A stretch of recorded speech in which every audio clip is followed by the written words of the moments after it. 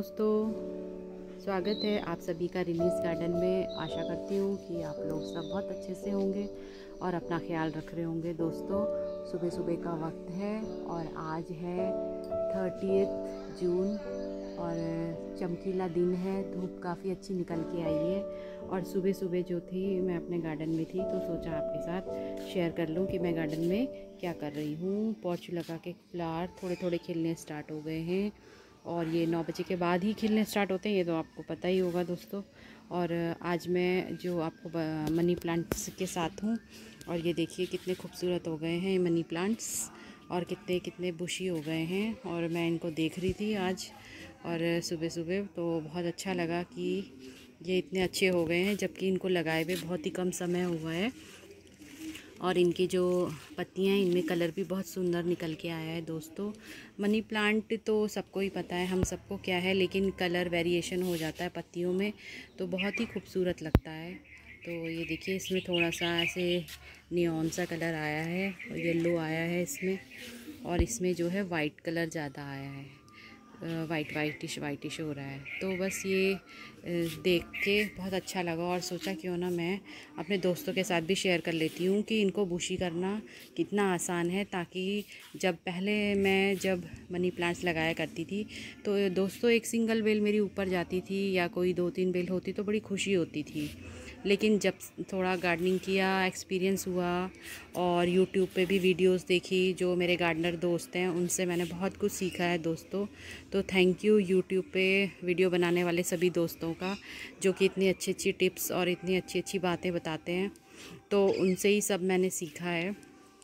तो इसलिए थोड़ा सोचा कि आपसे भी शेयर कर लूँ, क्योंकि जब आप देखेंगे कि ये प्लांट्स कितने सुंदर लग रहे हैं तो आपको भी मन करेगा अपने प्लांट को बुशी और अच्छा कलर कलर इसके अच्छे बनाने का। तो चलिए मैं आपको बताती हूँ कि इसमें क्या करना है।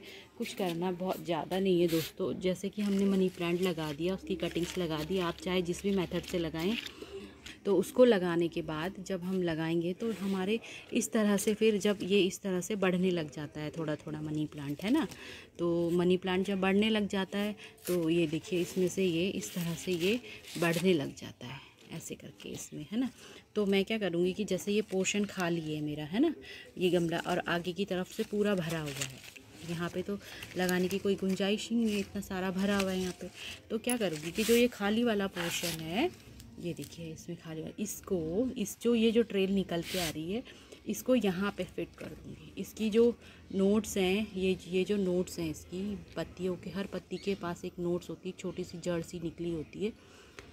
उसको हमें मिट्टी में दबा देना है। अपने हेयर पिन की मदद से भी हम दबा सकते हैं, जो जूड़ा पिन आती है, उसकी मदद से दबा सकते हैं, किसी तार की मदद से दबा सकते हैं, या फिर हम थोड़ी सी मिट्टी खुरेद के यहाँ पर तब भी उसको दबा सकते हैं। इसके ऊपर हल्का सा कोई वज़न रख कर के थोड़े दिन के लिए हल्का सा बिल्कुल कोई वज़न रख कर के जैसे कि मैंने मिट्टी गीली की थी तो ये इस तरह से दब रहा है। इसी तरह से ये दूसरा ट्रेल है, इसको भी मैं इस तरह से यहाँ पर फिट कर दूँगी।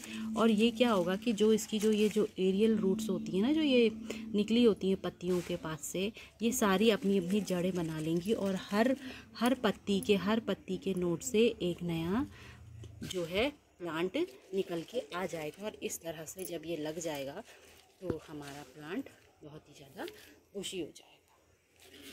तो ये प्लांट बुशी हो जाएगा तो इसके लिए अच्छे से हमें इसको मिट्टी में दबा लेना है। चाहे तो हम थोड़ी सी मिट्टी और ऊपर से डाल सकते हैं या किसी तार की मदद से इसको दबा सकते हैं। मैं तो दोस्तों इसको ऐसे ही दबा देती हूँ थोड़ा सा मिट्टी हटा के और इसको हल्के से दबा देती हूँ। तो ये खुद ही थोड़े दिनों में अपनी जो है, जड़ें बना लेते हैं और इस तरह से प्लांट जो है बुशी हो जाता है।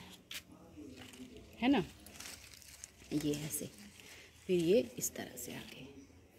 तो फिर अब थोड़े दिनों में ही यहाँ पर भी बहुत सारे प्लांट्स जैसे कि यहाँ पे हुए वैसे ही हो जाएँगे। तो आई होप कि आपको ये बात समझ में आ गई होगी।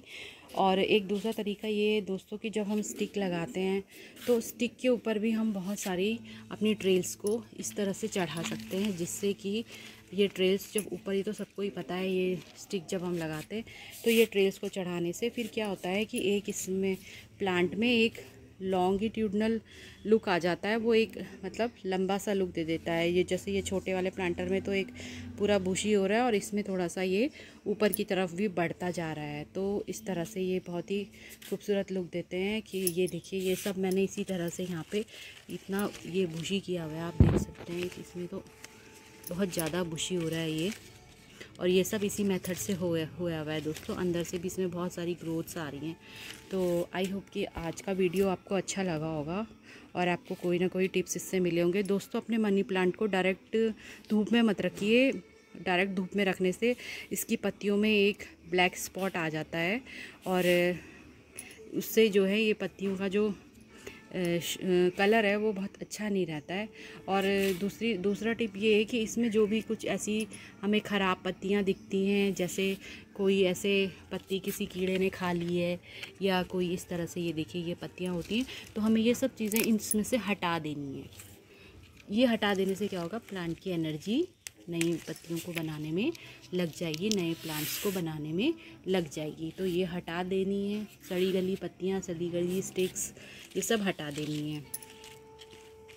पानी का शावर इसे बहुत अच्छा लगता है, आप इसकी शावरिंग करें, है ना? डायरेक्ट सनलाइट में इसे ना रखें और चाय पत्ती, जो सूखी चाय पत्ती होती है, चाय बनाने के बाद जो सूखी चाय पत्ती होती है, उसकी खाद इसे बहुत पसंद होती है। और ज़्यादा कुछ तो दोस्तों मैं इसमें डाला नहीं मैंने और रिज़ल्ट आपके सामने है तो आशा करती हूँ कि आज का वीडियो आपको अच्छा लगा होगा और आज की जानकारी आपको अच्छी लगी होगी। Thank you for watching